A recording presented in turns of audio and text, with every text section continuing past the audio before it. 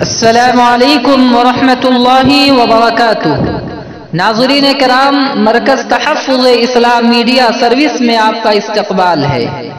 ناظرین، دارالعلوم دیوبند کے محتمم و شیخ الحدیث حضرت مولانا مفتی ابو القاسم نعمانی نے مملکت سعودی عربیہ کے ذریعے تبلیغی جماعت کے خلاف مہم جوئی پر تشویش کا اظہار کرتے ہوئے کہا کہ حضرت مولانا محمد الیاس صاحب رحمت اللہ علیہ دارالعلوم کے در، صدر المدرسین شیخ الہند، حضرت مولانا محمود حسن صاحب رحمت اللہ علیہ کے تلامزہ میں سے تھے۔ انہوں نے تبلیغی جماعت قائم کی، جس کے تحت اکابر کی مخلصانہ جد و جہد دینی و عملی اعتبار سے مفید رہی ہے۔ جزوی اختلافات کے باوجود جماعت اپنے مشن پر کام کر رہی ہے۔ کم و بیش تمام عالم میں اس کا کام پھیلا ہوا ہے۔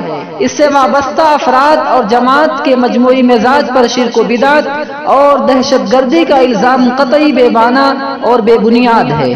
دارالعلوم دیوبند اس کی مذمت کرتا ہے اور حکومت سعودی عربیہ سے مطالبہ کرتا ہے کہ وہ اس سلسلے میں اپنے فیصلے پر نظر ثانی کرے اور تبلیغی جماعت کے خلاف اس قسم کی مہم سے اجتناب کرے۔